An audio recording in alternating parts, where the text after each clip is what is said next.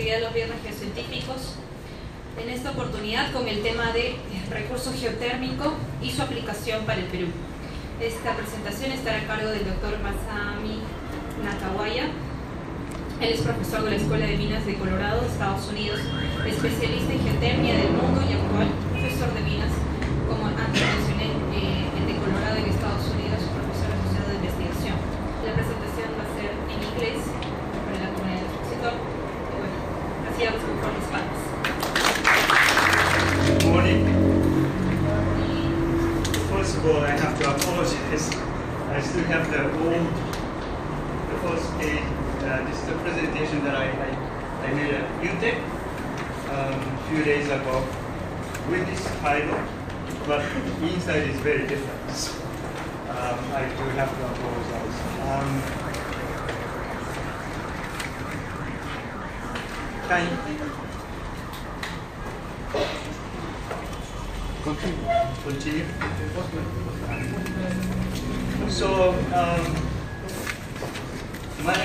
Masami Nakagawa, and um, I, a little bit um, about my background.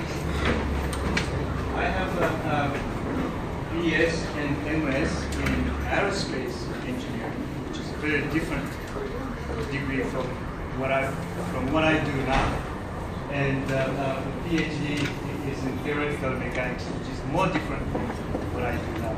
But uh, um, I an associate professor in mining and uh, um, of systems engineering. So in a graduate school, my department have two parts.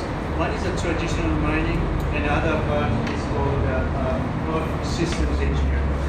So looking um, toward the future of mining, we decided to start incorporating incorporating uh, non-traditional aspects of mining, such as sustainability, such as community issues, such as uh, underground construction, tunneling. So this way, our department can diversify the portfolio of students. So um, then I also have a, um, a joint appointment with uh, uh, the National Renewable Energy Laboratory. And this is the only government lab that specializes in renewable energy. So you do not see the immediate relationship between the mining and the renewable energy, but this will be the future. Because mining operations are very, very energy intensive and quite often located and far, far away from the civilization. So keep bringing in the fuel to operate the mine is going to be a problem not mentioning about water. So if you look um, the future, if you look for the future vision of a sustainable mining operation, you have to connect mining operation together with the renewable energy sources. Okay? Because mining is not going away any any time soon. We need raw materials from the ground but at the same time, we have to try to reduce the energy consumption to operate? And um, um, so for the last few years, um, as a Fulbright, I've been going around um, Peru, Bolivia, and El Salvador, New Zealand, Japan, all these places to, to um, sort of send this message that uh, uh, the future mining is, has to be clean and has to work with, together with the renewable energy uh, uh, resources and uh, to make it sustainable and uh, to be accepted by, by society. Um, oftentimes I say, well, before I start doing mining, because of my background, I worked for and with NASA for about 10 years. And uh, so my, I like, I wanted to do um, um, the mining on the, on the surface of the moon. And then, um, but we, we do not have enough time to talk about this, but because the moon is very, very interesting. And there's so much resource on the moon. And uh, we are not utilizing it. So when that time comes, I will go to the moon to do this. Uh, um, so what is, uh, is everybody geologist here?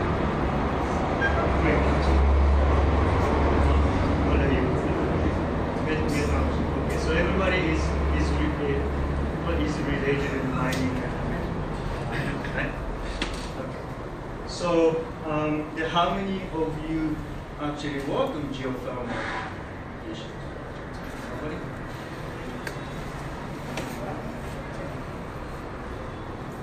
So what, what, what do you do in, in uh, geothermal?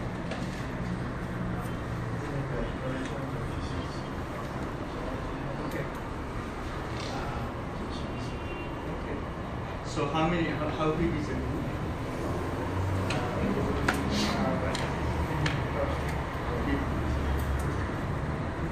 So, um, so I still, uh, I can still give a lecture on, on geothermal because most of you are not working in, in this area, right? So, so what is geothermal energy? And um, um, but I'd like to give this this lecture in a larger context. You know, geothermal is nothing but a part of natural resource. Yeah. And um, um, the sustainability and the capacity building. This is the main trend in the US at least. Because I have seen many, many geothermal development projects have failed, not because of technical issues, but because of community opposes.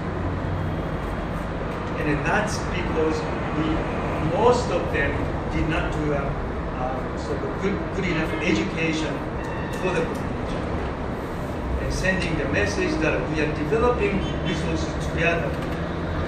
So the old message that we have money, we have resources, we go there and develop a geothermal energy. This will never be accepted in the USA. So the main issue is that how do you do what we want to do, develop natural resources or develop geothermal resources in this context in such a way that the communities benefit. Okay, and I have seen in many, uh, many, well, some locations in New Zealand, for example, they have 150 megawatts of geothermal power plant, but right next to it there's no electricity. And that's strange, isn't it? So this happens often, and um, uh, we want to avoid that. Local community have to accept or embrace the geothermal. And, and in order for, uh, for us to accomplish it, we have to have the integrated approach, at least the vision of the approach before we start doing anything. And I have learned this uh, working with uh, um, many mining um, operations. In particular, uh, there's a big uh, silver mine in southern uh, uh, Bolivia called Minas San Cristobal. And this uh, big mine is actually owned by a Japanese company, 100%. And the way they do, um, there are problems, but the way they do is to integrate sustainability vision into business. So um, so far it's been working um, reasonably well. So the big picture um, geothermal resources, at least the locations of geothermal resources are like here, and uh, for the case of Peru, Chile, yeah, and to certain extent Bolivia, and also places like this in Hawaii, Iceland. So first thing you look for is some kind of volcanic activities.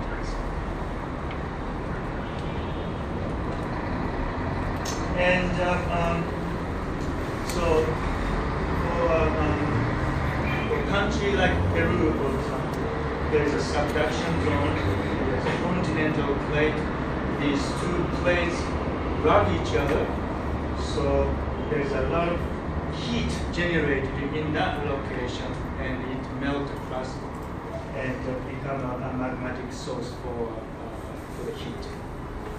And when the, when the situation is right, then it appears as a, volcano.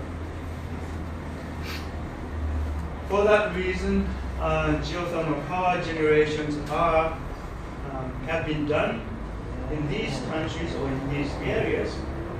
This what we call the ring of fire, for the, for the reason that, that I just said. And also the most recent um, attention has been focused on the eastern uh, Africa, Ethiopia, Kenya, um, not so much because of uh, uh, the resource per se, but I think it is more geopolitical reasons. The United States um, is, is far behind in joining the rest of the world in, in looking at um, the resources in, in Eastern, Eastern Africa. That this is where the current and the focus on the international focus on geopolitical is, is at.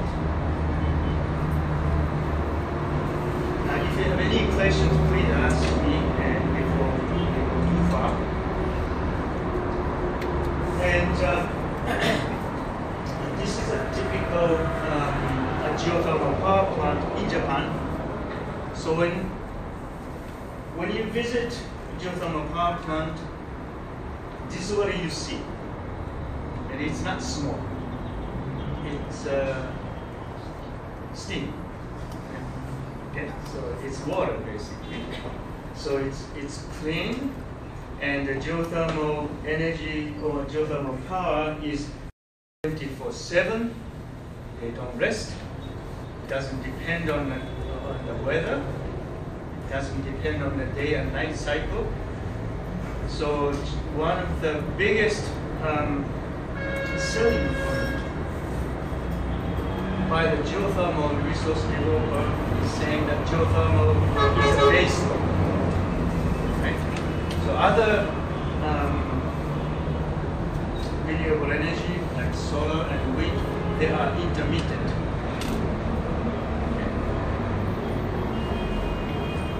So speaking about geothermal energy, you need three things. One is obviously heat, and the second thing is water. We need water to bring the heat from underground. Right? It's, it's a carrier of, of energy. And we need to look for a location where there's enough permeability or um, yeah, permeability in rock. So, um, a little bit more complicated picture of a geothermal reservoir should look like this. We said we, we go near the volcano because obviously there's a heat and we also need water, remember? Where do we get water? Most of the time, we get water from rain. And this rainwater has to go underground. And the way it, go, it does that is to follow the fault. So we look for the volcano and we also we do a lot of geological mapping, satellite mapping, uh, and to identify where the faults are. Once we know this, then we do, we have to understand how the movement of water. But remember, we are talking about not 100 meters, 200 meters, we are talking about tens of kilometers distances. Now, so suppose that rainwater can follow this fault here and it as it goes down, it starts picking up heat, right? Picking up the temperature from here or from here. So cold water, which is heavy water, becomes lighter, right? When the water becomes hotter, it loses density, so it becomes lighter. So it starts going up. And this action of going up is um, uh, for two reasons. One is remember there is a large column of cold water which is heavy. This whole thing is the pushing the lighter water, upward, right? So it just uh, moving like this. And with the hope that there is a, a fault or bedrock which can turn this water into the output. Right? If there is nothing, um, no structure here, then and, and this fault is infinitely long, just keeps going down. down, down. So there has to be some turning mechanism. to geological condition and also hydrological condition. Very heavy water is pushing the lighter water, is warm water. Now, another thing is that this hot water has to go up following another fault. And so if the conditions are right, geological conditions are right, we can identify a location bounded by two. Say in this case two faults that, that, that are responsible to bring the hot water upwards and but we need something else. We need what, what we call cap rock, which caps the movement of hot water. If you don't have this, then it, it will go, it keeps going up. And sometimes maybe it, it, it you know, uh, mixed with the uh, cold water right here, which is in the shallow aquifer. So bounded by the above, by cap rock, and boundaries on the side of the faults, and boundaries at the bottom of the faults. Lots of heat from underground. So there is a there would be a large movement of water in this geothermal aquifer. Now, if the rock here is not permeable, then there will be no water here, first of all, and there will be no movement of water. Right? So permeability, not necessarily porosity, but permeability is a very, very important measure for the performance of the aquifer, geothermal reservoir. So, um,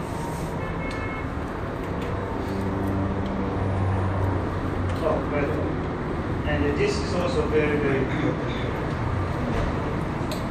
Now, yes, so we once we set up a power generating here, then the spent water is now the cold water, and if we want to re-inject this in such a way that this join, replenish the geothermal reservoir, just like the rainwater.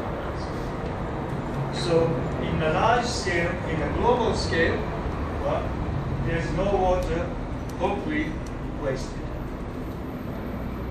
Only thing that we take is heat. Right? So in the United States, uh, the, the current discussion is who owns the heat. So we are opening another interesting discussion. You know, we know we- we're still debating who owns water, who owns mineral. We are discussing who owns the heat.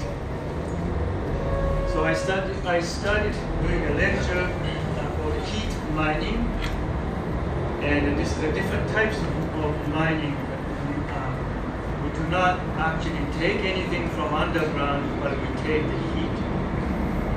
And if you if you focus on this concept, you start seeing a very different types of mining. For example, in, in my state, Colorado, state of Colorado, we have over 40 burning underground coal seam. These are natural fires happen in underground. And um, um, you know these coal fire, underground coal fires are nothing but problems right now because it emits methane, it emits CO2, it emits a lot of gases, and it gets too hot. And, and once it gets going, it's very difficult to stop. So we are watching this energy, uh, heat, together with the greenhouse gases being emitted, not doing anything. So I, I started doing a project um, which is called um, um, shallow geothermal um, uh, project. We can use this heat to do the geothermal exactly the same way as well. So in a typical, um, in a typical sense, a typical hydrothermal geothermal, we have to drill 1.1 kilometers, 2 kilometers deep. But these coal fires are just lie, I mean, and under what, 150 meters below. So the drilling cost is nothing to compare to what, we have to do. Deep geothermal. Temperature, it can get 700 degrees C, much higher than, than the typical geothermal resources. So what it does, what, what this underground boarding coating does is that it can shrink the size of the turbines because of the higher temperature and, then reduce the cost of the drilling. But somehow the government doesn't want to do it. Okay, so there is uh, some legal issues, and uh, um, but, but I think all we need is the one small successful project to start something like this. Okay. Now going back to geothermal, there are basically three different types of uh, uh, three different ways to generate power. And the first one is called dry steam power plant. And this is how actually the geothermal power generation started in 1905 in Italy, Larderello. There were, their resource was good enough just to have steam, dry steam from underground, not the wet steam the wet, hot water, just like what we do now.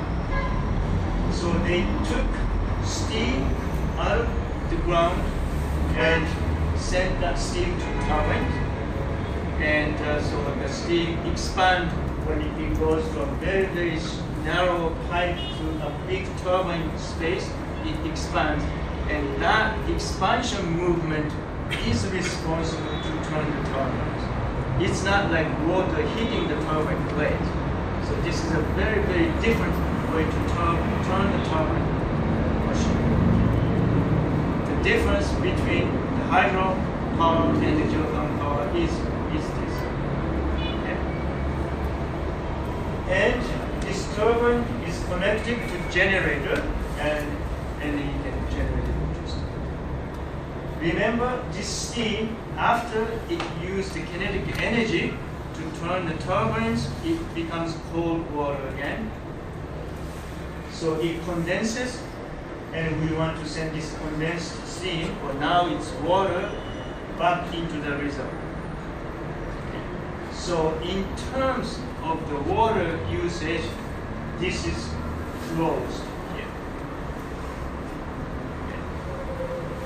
So this is the first uh, type of um, power generation.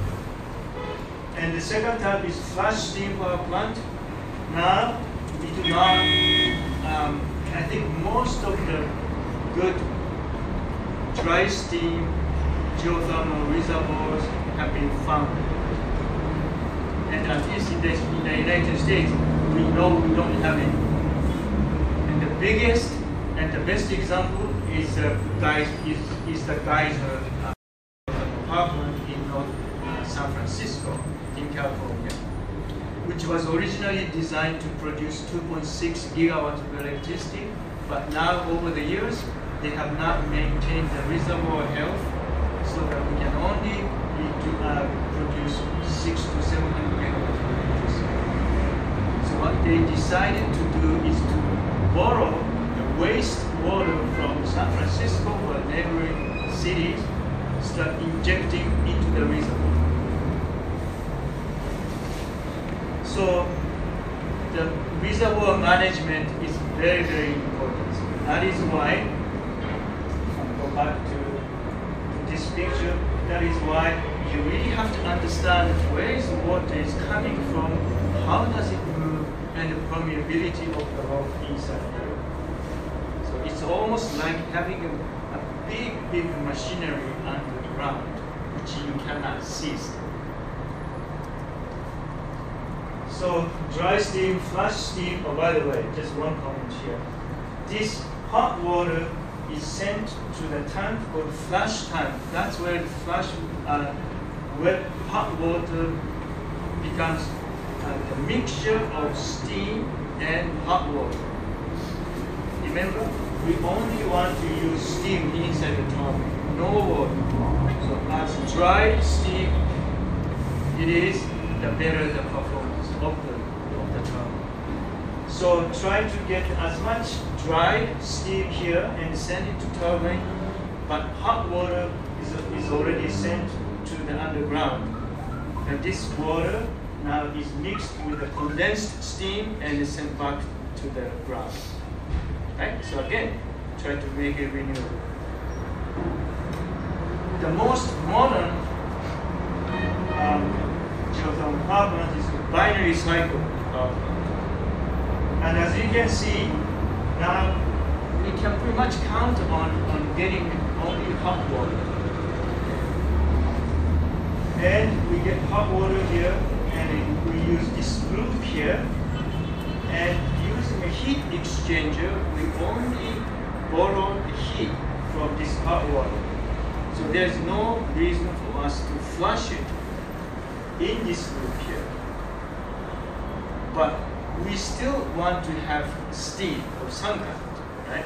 So there is another loop here with a binary liquid. Most likely, these binary liquid are a mixture of water and ammonia. As you know, ammonia has a very, very low boiling temperature, so you don't need 100 degrees C or whatever boiling temperature here. So the mixture between ammonia and water is going around here. It takes the heat from this hot water and expands and then finally it goes into the turbine and again it, the expansion movement of this mixture is responsible for turning the turbine. Now this con in the con um, just a concept it, it looks very, very good. But the, one of the difficulties is to maintain the right mixture between ammonia and water constantly to maintain that. Because we're talking about the phase diagram of uh, uh, this mixture is very, very, uh, it's not straightforward. So there are two parts, underground and above ground. And we have much better handle with the power plant efficiency, but this is still a very, very high risk. And I think that's why you are all working in, mostly in, in this area, subsurface understanding of the natural resources. And accepting one, which is actually drilled for. Any other measurements are, are, are, will give us an indirect understanding of what happened. So, um, this is what we have.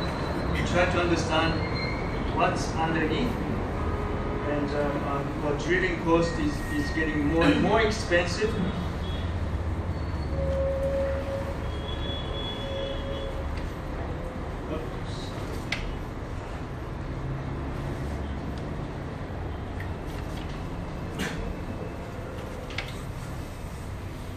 um,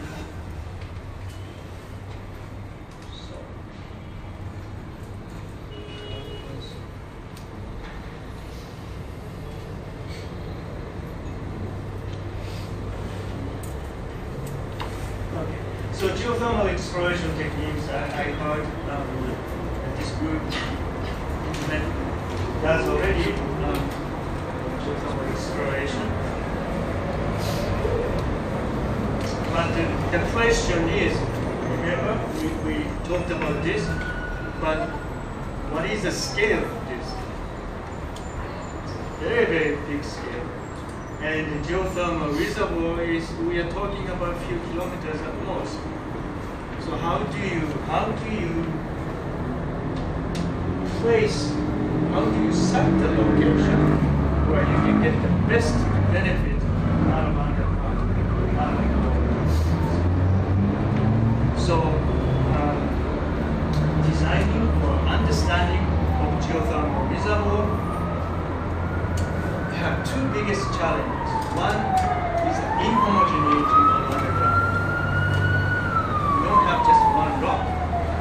Different types of rocks with different material properties, folds, compression zone, extension zone, so all these mechanical, geological, hydrological, chemical, everything is together. And this I have I have never seen a complicated phenomenon like this. Even NASA would not touch it because it's too complicated. Sure. So um, the classification of geothermal reservoirs in terms of temperature, we go 200 degrees above high temperature, uh, less than 150 low temperature, but this definition changing all the time. Right? So in uh, um, Chena hot springs, for example, in Alaska, they can, using a binary power plant, they can use 80 degrees uh, water temperature. Now they, they are producing electricity. I think it, it's a it's a um, very very exceptional case because in Alaska they have access to a very very cold water. So the temperature difference between uh, um, power plant and the environment is very very big, and that helps to come up with better efficiency. And classification that goes together with this temperature and uh, nature and geologic setting classification, volcanic system, the ring of fire, that's what we have here, and the convective fracture control system in Iceland, Hawaii. Sedimentary systems, we have lots of those in Colorado, for example, in southern Colorado, in my state. And geopressure system, Mexico Basin or um, southern coast of Texas off the coast south of Texas. We have a, large area of geopressure system and um, um, hot dry rock. Have you ever heard this terminology, hot dry rock? No? Okay, so uh, maybe I would like to spend five minutes uh, explaining this. And um, so all these things volcanic systems and convective fracture these are very, very site specific. Right? You have to go to look for these resources, you have to go to a very specific area. So the US government doesn't like that. The US government wants to do geothermal everywhere in the America.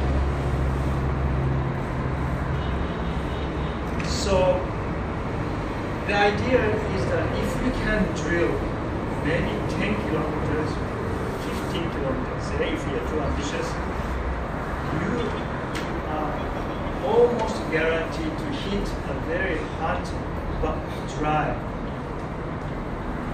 ground. Okay? So the idea is that all you need is what? Water and permeability. So if you can locate these hot rocks And if you know how to drill 10 kilometers deep, then you can drill it, and you can hydrofracture, and you can recover this cold water as a hot steam at other end. And the first project was called at the Fenton Hill at Los Alamos National Laboratory in New Mexico. And this is where the nuclear bombs were developed. So you don't see the immediate connection, but the connection is that New, uh, Los Alamos Laboratory has done a lot of underground nuclear detonation tests. So they feel like they know how to fracture rock very, very deep underground. So they wanted to try this, how the nuclear detonated uh, uh, fracture rock behave like a permeable rock of the very, very deep underground. It can, you know, heat the water and can. And actually, this Hill project was, uh, was not a complete failure. So they drilled two uh, very, very deep, three to four kilometers at this site. And one, one well is deeper than other well. So when, when using the deep well, they created a penny-shaped fracture zone. And they did the same thing here. And with the hope that they can connect these two fracture zones. These are penny-shaped but very, very uh, narrow a sling fracture. So um, they did actually um, generate electricity, but not much, not not enough um, for the money they spent. They spent millions and millions and millions of dollars, but the outcome was great. But they have learned a lot how difficult to make the connection between two wells okay, very, very different. First of all, the way rocks fractures, um, they, they have this um, naive idea that uh, these hot rocks are very, very, have no pre-existing microfractures. But there's no such a thing. You can go to a very, very tight uh, rock, but still the when they fracture, hydrofractures, I think the other closed fractures start opening up and they, there's no control the direction the flow, the, connection using the fracture. So, um, yeah, a few slides that shows different types of uh, um, um, the reservoir, connected fracture control system, volcanic system, it's a very simple system here, and sedimentary system. Now, um, in, in the United States, um, at the Department of Energy, we have a um, small geothermal energy uh, department, and we have been told that geothermal group has to work with an oil and gas for obvious reasons. Oil and, oil and gas is a much bigger operation and they can afford to make few mistakes. Geothermal is a very, very small industry.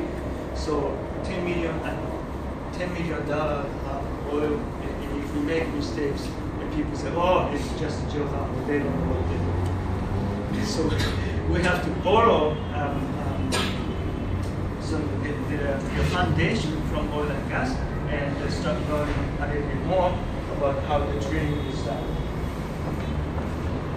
So actually, um, we are also doing um, another work on a sedimentary basin, which traditionally was oil and gas. But we start doing uh, geothermal um, work in a sedimentary basin in some And now hydrofracturing whether hydrofracture, hydrofracking is a very, very fashionable thing to talk about in, in the US. But this hydrofracture, the original concept of hydrofracture came from this Fenton Hill project. Remember that penny-shaped fracture? And if you can make these penny-shaped fracture zone, many, many of them in a series using horizontal fracture, so that becomes a hydrofracture concept that gets so hard now. Um, so this is a very, very um, simple model of geothermal reservoir. The surface is well, and if you can identify the volume of the geothermal um, reservoir, then you do you can do the analysis. And oftentimes we uh, um, we start working with a, um, a picture like this. There's a well and it is cold water. Remember that uh, fracture has a cold water zone column of cold water. That's the driving force. For this reservoir hot water going up. You can write um, the different equations with the hope that this liquid only flow equation is, is reasonable enough to, uh, uh, for us to be able to connect the pressure difference to the flow rate.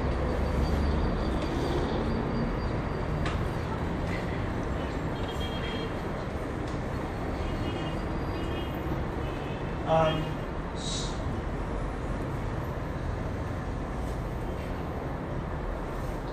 okay, so- so this So geothermal reservoir versus petroleum reservoir, there are differences. Petroleum is a mass extraction. Geothermal is heat extraction. And the porous sedimentary rocks for, uh, for petroleum and the horizontal extent. The petroleum industry is more worried about how extend this reservoir in the horizontal direction. Okay. And mass transport is important. They do not care about the temperature, but they is not used to care about temperature. Geothermal fractured rock, vertical extent, because we want to gain as much heat as possible, so we want to go deeper to have access to hotter temperature and heat and mass transport are both important. So the analysis of the whole geothermal reservoir um, for geothermal is much more complicated than the petroleum industry. Now, it is interesting to note that difference between mass extraction and heat extraction because traditionally petroleum industry stopped drilling when the hydrocarbons start, started going down and that corresponds to temperature of 880 degrees 190 degrees something but that's when the geothermal people are becoming more and more interested right? Because remember that the classification of a geothermal reservoir in terms of temperature 180 degrees above that's a very very good resource so there has been a very, very clear distinction between uh, the depth, in, uh, in terms of the depth between petroleum and um, geothermal. But guess what? The petroleum, they're running out of the locations, the shallow locations to have good access to the petrol So now they are going deeper and deeper. So now they start experiencing uh, hotter temperature, which cause, which cause some problems. But for us, it's an opportunity because we can now, uh, what we call the co-production. So a lot of petroleum products comes out with a very, very hot water. And if we know how to separate hot water from the petrol, then you can use that hot, hot temperature water for geothermal purposes. Okay? So, um. So this is a typical, um, hopefully this is the first, maybe second round of a, a geothermal reservoir model. It has a, um, geological information and, and it is this is a very, very high resistivity uh, region. That means that means there's no water, right? The rock is very, very resistive in terms of electric current. And um, um, so, but this is um, low resistivity cap. So we know where the water is, we know the temperature because of the poor drilling. So we have uh, um, geologic information and hydrologic information and also thermal information. So uh, this, this um, geothermal reservoir should, the model should contain those vital information. But the most up, updated um, presentation of geothermal reservoir should look something like this. There are some, some good um, simulation tools that we can use. But remember, all this, excepting for these finite number of points, these are all infinite. So the way we make sure that we, that to improve the understanding of the reservoir is to work with this and with the real field and keep monitoring the performance of the reservoir and keep changing the, um, the model. Right? So it is very, very important once you develop a geothermal power plant together with the resources underground because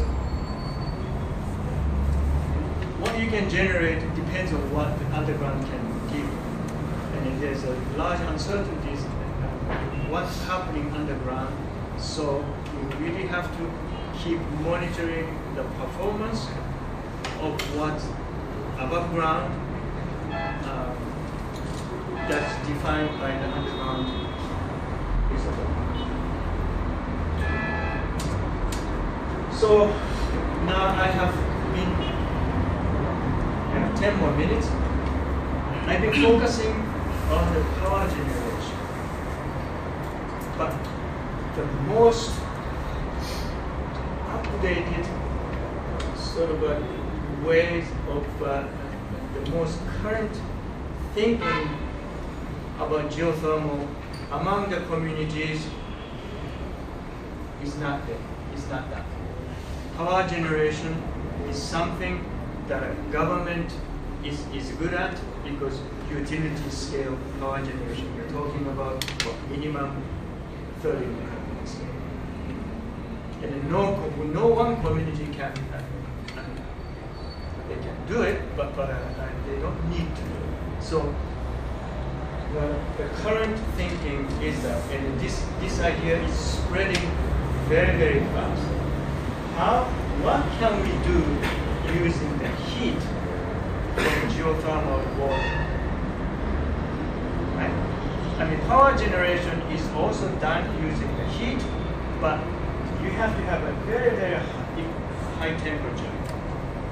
But if you uh, if you have hot springs, for example, that can give you 60 degree water, and you give up, say, well, it's not good for power generation.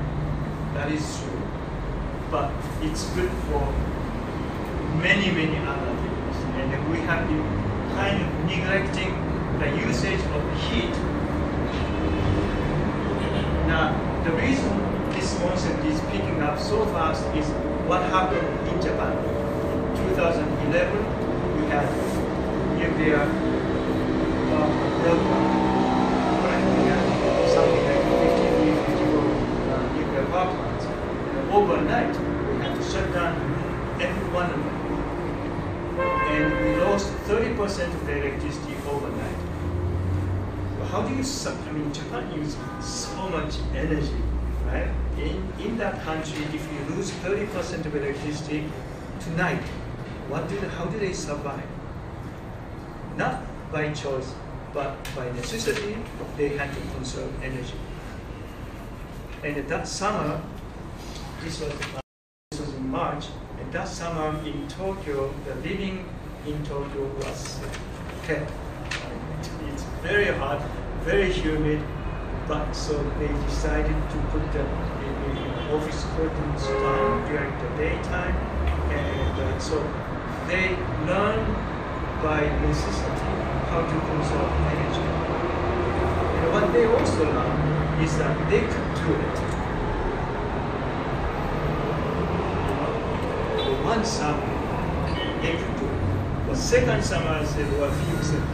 Again, we're gonna have this hot, wet summer again, and people's comfort level it was compromised. So people are like that, you know.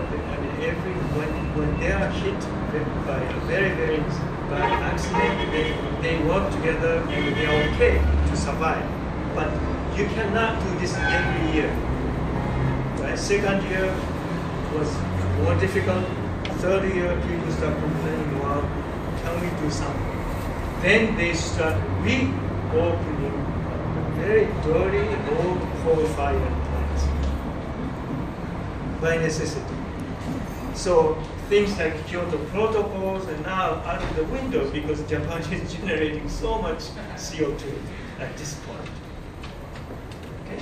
But one thing they learned is that the money they, they well, the conserved energy, so each company saved a lot of money by conserving energy or electricity. So, so what it did was many companies did not have to pay as much tax as before. When a company grows, they make more money, but the money you make, you have to pay tax. Right? So this is the traditional growth pattern in, in, within economy. But first, conserving electricity, the money you conserve, there is no tax on it. Right? So they didn't, they didn't realize that, how, how important that is. So this, all of this geothermal heat, uh, geothermal heat can be used to heat or cool. Right? It, it's a it's a reverse cycle. So you can use to benefit local in the best way uh, for the local. Now, as I said, integrated flow of geothermal development. We study exploration of geothermal resource and, and uh, utilization of heat. We do not we do not mine electrons from underground. We mine heat. Right?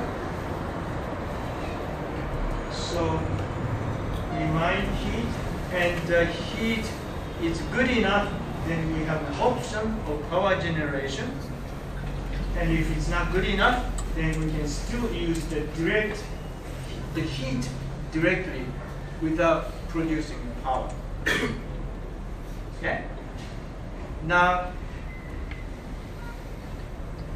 today, I think in Japan, especially, if one wants to develop a uh, geothermal power plant, they are forced to have this component as well. Because the water, hot water, they use to generate electricity, and, and after generating electricity, that water is still hot. So you can use this as a heat source. So from here, go here, and, and use that heat to benefit the. It's called a cascading usage. So, but one thing that we have not really paid attention nowhere is uh, every step there are stakeholders of different types, there are communities of different types. So in, the picture, well, if we have the state-of-the-art skill set to understand what is underground, together with financing, together with money, you could have gone to anywhere basically and said, well, we're going to do this, so let, us build a plant. and, well, in the mining, it's, it's the same way. I have, I have extensively traveled southern um, Peru. And I go, I go to remote areas and I tell them that I'm here to understand geothermal resources, but for the low, for the village people, mining and geothermal are the same thing because in, in the past history, I mean, no matter how I do it, I'm disturbing their land, right? So it, it, this is becoming very, very important. So in my school, at least my research or my class, I do this community um, relationship or stakeholder understanding before I talk about geothermal resources. And, and also geothermal development, I mean, if you go to a, a new site, it takes a minimum 10 years to, to see something is happening. And usually community relationship and, and stakeholder analysis were, were actually put at the very end. But that's the wrong approach. You have to do this very beginning. So you have acceptance by the community, by the society, then you can do all these things. The most expensive failure was about $70 million well. Can you imagine that? So, uh, I'm, I'm running out of time, but uh, um, uh, geothermal potential in Peru, there are two major documents that I know. One is the document published by this institution, and there's a JICA master plan. And um, um, the first time I, I, I, give a lecture in Peru, not here, um, somebody asked me, when can we start generating 3.6 gigawatts of electricity from geothermal? And that message came from, I think it's JICA report, right? But, but most of the assessments are coming from geochemistry samples, and there are few drilling and exploration. Have there been any actual geothermal drilling done in southern but do you know any? I don't think I don't think we have any done the drilling yet, right? So the, under, the current understanding is nothing but geochem or uh, surface exploration, right? So there's a there's a large uncertainty in, in, in resource, this is a this is a, not a disadvantage. This is a huge opportunity for you, right? Because you, you can you can start developing a uh, new field and large area, the concentrated locations in southern Peru. And, and in all these areas a, a request project for authorization. There, many, many of them are focused in that area. And this is a, um, so this is what I did with, the, um, with a Filipino company called EDC. And we hire local people go to a very, very remote area. This is near Chipare.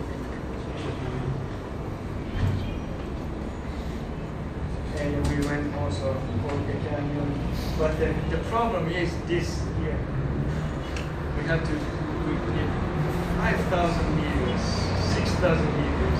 We have to use mules and, and horses to carry our cables or that literally. You know, it's very, very difficult. And there's no way we can we can take a big uh, seismic uh, machines or big machineries. So But at the end, we somehow find uh, nice hot springs like this. But this is um, this is a little old now, 2011. When I was given this this chart, first I was very very discouraged. But then two seconds later, I said, well, this is a really opportunity for us because as a university professors, I can talk to the government people such as you or other universities and to start developing the capability inside Peru, within Peru. And uh, uh, for example, here, how many uh, 106 geologists, and most of them are here. Okay, and then geochemist 32, geophysicist 17, reservoir engineer 5. I'm a little bit surprised that we actually have reservoir engineer. Drilling engineers 10, power engineers 60, environmental scientists 101. I think we have many more environmental scientists now than 2011. But the, but the, the point is, look at this. So places like uh, uh, San Marcos or UTEC or, or other universities are very, very looking at this seriously. Okay? So they have to work with the government if they want to make some Okay. So I um, I just ran out of time, but this is a uh, this is my project in southern Colorado Rico, and this is a completely integrated approach to develop geothermal resource, and the community is actually driving this. But if I if I have a chance next time I come back here, I will share this this project. So thank you very much.